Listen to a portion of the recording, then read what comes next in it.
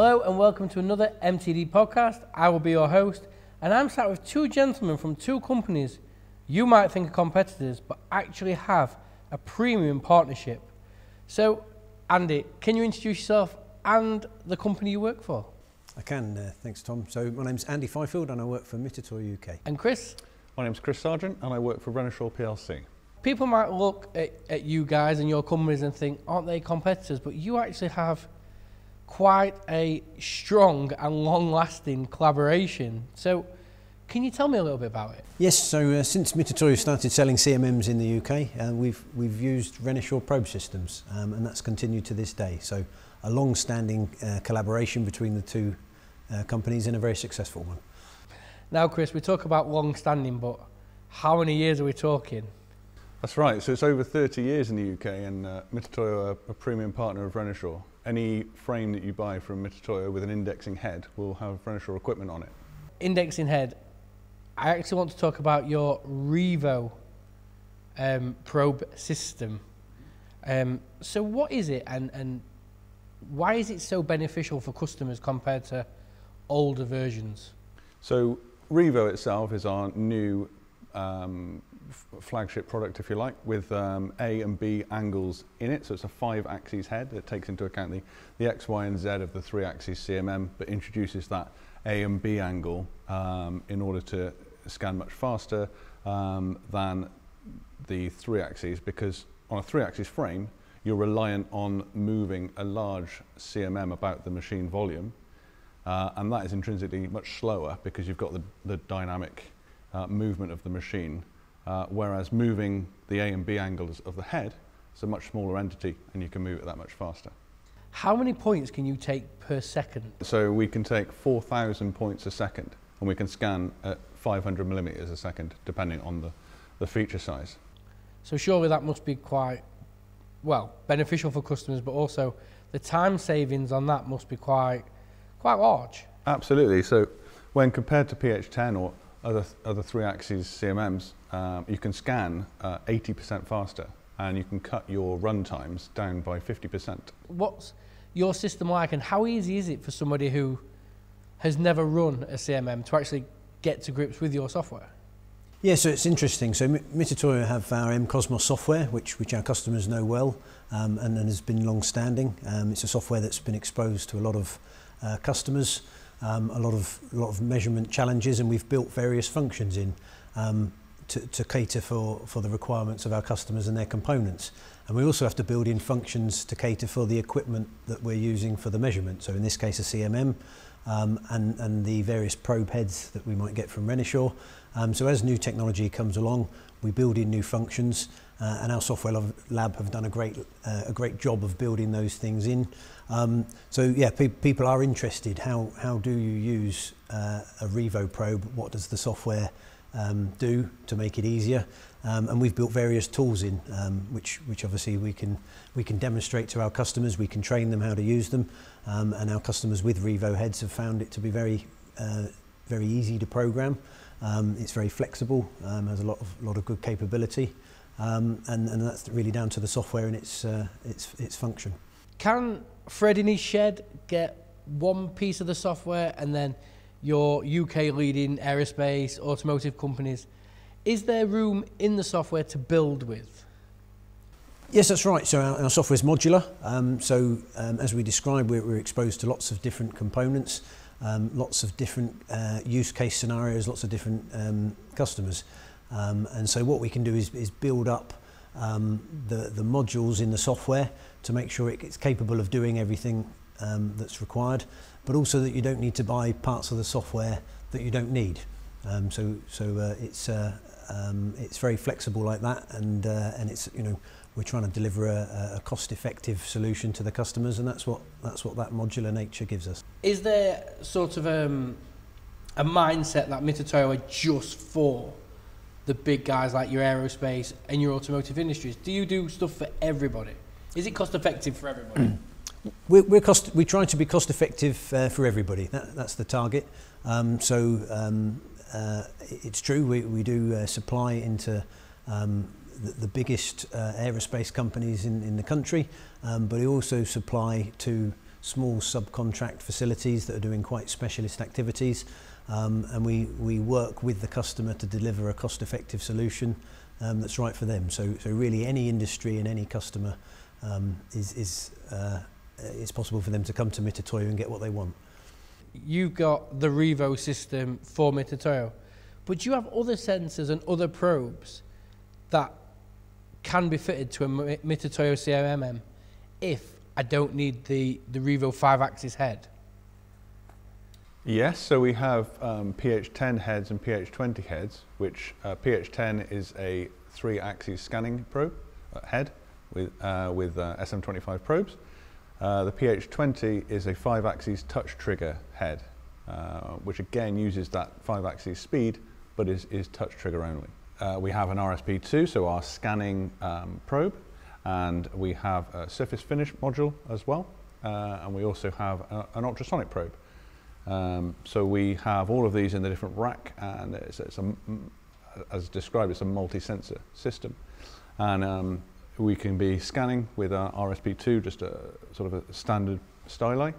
Uh, and then we can go to surface finish and we've got lots of different types of modules uh, that can get into all sorts of um, places from just on the surface to even in like valve guides in, in the automotive industry. Um, and we can take surface finish scans wherever, which is great because you can program them and an operator can't say, oh, I don't like the look of that, I'm just going to scan that bit. It's actually programmed. So usually the machinists on the machine tool when programming know where the bad surface finish is going to be. So we can program to check those areas specifically and they'll be programmatically uh, scanned every time. Uh, and then we've also got our ultrasonic probe, um, which will um, which will take a wall thickness measurement, uh, currently up to 20 millimeters, but that's due to increase essentially you're looking at every everything a machinist will need to measure, you will be able to do with a Renishaw probe. Absolutely, yes. We hope that you'll be able to put a part on and be able to um, measure everything that's required on the drawing to be output. And we're looking at lots of different sensors as well in the future. Now, Chris, I know you actually have one or maybe a few questions for Andy. So I'm gonna I'm gonna leave you with the floor and, and, and let's let's see what information I can learn from from you guys. Sorry, I, I wanted to just go back. You were you were talking about how the software will support uh, more of our sensors in the future and currently does. I wanted to know how it's how it's licensed and whether you need a new license for each different module that you add, each different sensor, I should say. That's right, yeah. So, so, um, so as I described, we, we tailor um, our, our measurement solution to, to the customer requirements and we try to make it cost effective. Um, so, so where you describe which probing system we need. We would, we would pick the correct probing system if it's PH10, um, but if, if we need more capability, more access capability for more complex components, then, then we'd be looking at the Revo. Um, and, and perhaps if there's a surface finish requirement, we'd put the surface finish sensor on. And then like, likewise with the software, um, we're driven by the customer needs. So if they need to program from the CAD model, we have a module that allows them to import the CAD model. Um, and, and that part of it's licensed. And if they have um, complex profiles to analyse, then we have a module of the software for that. And this is, this is all licensed um, through, through a software dongle, um, and, uh, and, and we um, put the package together according to the requirement. Um, other things we have, um, so we have dedicated gear checking, um, and we also have dedicated airfoil software, um, as a for instance. Um, so, so we can build up the different modules um, and license accordingly. Great to get questions from you guys because obviously you guys are the experts in your field. So I can do as much research as I want, but I'm never going to know as much as you guys know. So it's always great to hear your questions because it's, it's what hopefully the audience will want to know.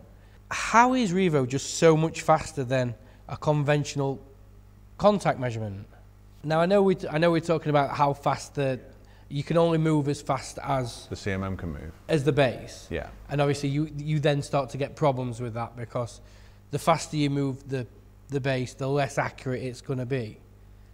I think the um, if, if I perhaps no, put, put a bit in from our side as well. Yeah. Um, so uh, I, I think um, uh, I think when you when you're constructing a measurement program for a component, um, there's a lot of different aspects to consider, um, and uh, and the flexibility of the Revo um, really helps you um, produce a, a measurement program and a measurement solution that's, that's as fast as possible.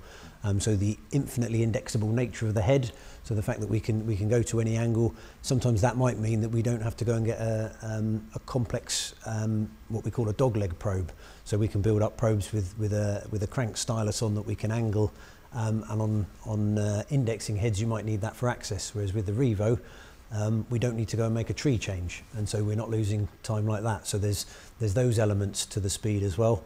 Um, and then as, as Chris has described, um, for instance, if we're measuring a bore, traditionally um, we have to move all three axes of the machine. Um, but with the Revo, we can come in and we can do a very fast, what we call a helical scan. So we can scan round um, using that function in the Revo. Um, and the cycle time savings are, are significant. So when we build all of these things together, at the end of it, the customer gets a much faster uh, solution. Um, so it's it's not it's not just one aspect of it; it's Yeah. the real capability of the system. That's right. You, you point out the infinite angles or something I definitely forgot. Um, and, uh, Actually, that was something I was going to ask about because I, re- I that was the, the infinite yeah, yeah, points yeah. was So the, the, the, one of the troubles with, with PH10 was always that you can only index every seven and a half degrees, and you have to calibrate each one of those angles. Whereas with Revo, you can just calibrate A0, B0, so straight down, um, and that calibrates out each one of the individual um, infinite angles. So when you come to inspect different bores, different prismatic features around a part, you don't have had to uh, had to um, calibrate all of those different angles, which can reduce your calibration time dramatically, um, and also means that you get much smoother uh, moves around the part, which then cuts down on your runtime because you can inspect a part here, say, and then move around to another feature nice and smoothly instead of having to come out, angle change over, round, and then use, as Andy says, all of the CMM axes to inspect that feature. You just inspect it using the head. Now, obviously, that must make such. I know we've talked about time saving per part, but if you've got to inspect a production run of parts, these these smoother angles, not having to calibrate every time you've got to move your probe, the time and the, the cost saving must be well exponential in the end of, at the end of the day because you can just set it like you were saying you can just probe it zero zero and then just set it running what is what is the bottom limit accuracy on a Revo head? Are we talking microns, tens of microns, or is it? Could could I inspect anything with it and it'll be absolutely perfect?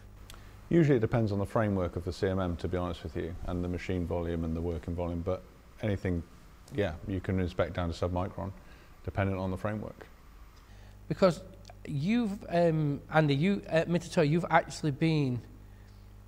You've you've actually been with Revo since the very beginning, so you must believe in this to have it right from the start all the way through, and still, to this day, be using it.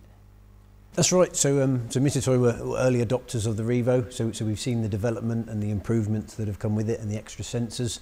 Um, and uh, what what we're trying to get our customers to focus on is the business case.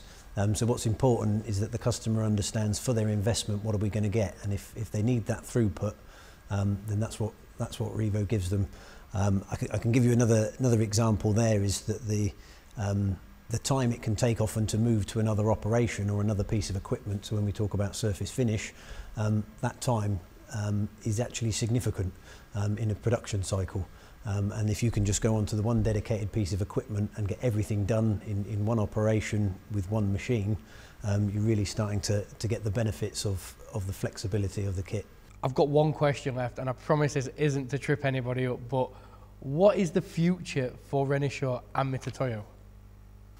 Um, so, so the future is uh, is more sales. Um, you know, we, we've uh, we've had um, a downturn with COVID, for instance. You know, industry has had has had a tough time with with some of the um, uh, the, the uh, economic climate uh, recently, um, but but everything's improving, um, and um, manufacturing methods are getting more complex.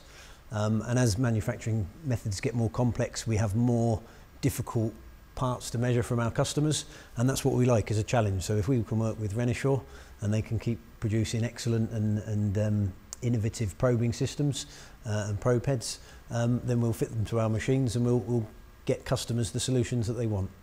That's right. And as Andy says, things are getting more and more complicated. So are looking into more and more complex uh, sensors to go on the Revo head. It's going to be that multi-sensor system, so we're going to have more and more different sensors that are going to come out, be available in that rack for you to inspect your parts, and M Cosmos is going to be able to uh, to program those as well.